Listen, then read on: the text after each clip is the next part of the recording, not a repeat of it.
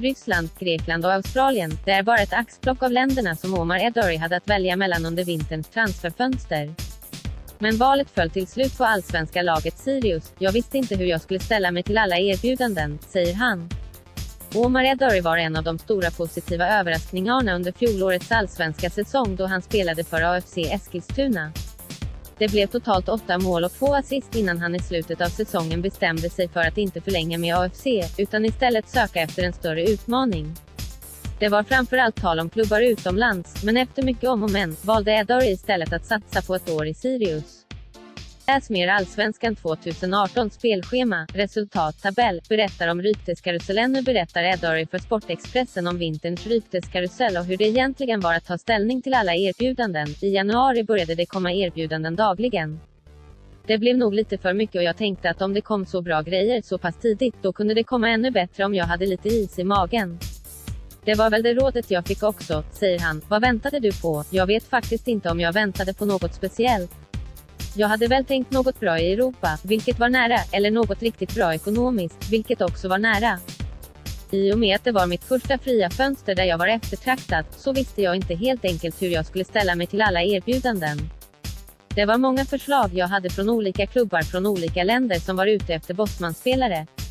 Men det blev för mycket till slut, jag blev obeslutsam, vilket jag egentligen aldrig är. Eh, Eddary, det var svårt att sortera. Vad gjorde du då? Istället för att tvinga fram något i ett vinterfönster vände jag blickarna mot allsvenskan. När jag väl började skanna av marknaden i Sverige fanns det ett par klubbar. Sirius var det bästa alternativet sportsligt, det var det enda jag tittade efter. Tränarna är riktigt bra och det var ett enkelt val när det väl kom till kritan, säger eh, Eddary. Vilka länder hade du erbjudanden från? Jag hade förslag bland annat från högsta ligan i Ryssland, Dubai, Qatar, Saudiarabien, Iran, högsta ligan i Grekland, Australien, Israel och Polen. Hur svårt var det att bestämma sig? Det var svårt att sortera, man blev knäpp. Men oavsett, det var en läxa och en lärdom. Jag ser inget negativt i det, nu vet jag hur processen går till. Jag har lärt mig en hel del och är glad att det blev Sirius. Fanns det något med Djurgården? Jag kan inte kommentera något. Jag valde Sirius och det är det enda jag bryr mig om. Vilka klubbar det var i Sverige är inte väsentligt. Det finns dock en historia med Djurgården och det var en del intressanta grejer som hände under fönstret innan jag till slut valde Sirius. Men förutom det har jag sagt mitt, säger Sirius-stjärnan.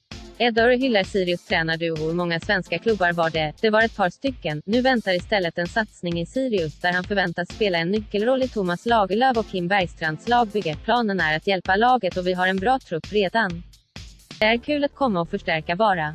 Vi har en bra målsättning men vi ska försöka göra vårt bästa för att hamna bättre än i fjol. Vad säger du om Kim Bergstrand och Thomas Lagerlöf? De förtjänar all cred för det Sirius gjort hittills. Jag känner att de inte får cred nog och de borde hyllas ännu mer för det arbete de gör. Under allsvenskans gång kommer han stöta på flera av sina nära vänner.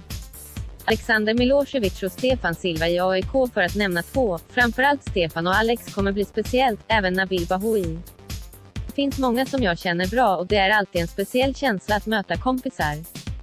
Jag ser det som en tävling och det kommer bli intressanta matcher. Missa inget på senaste nytt om ditt favoritlag i Allsvenskan, direkt i Messenger.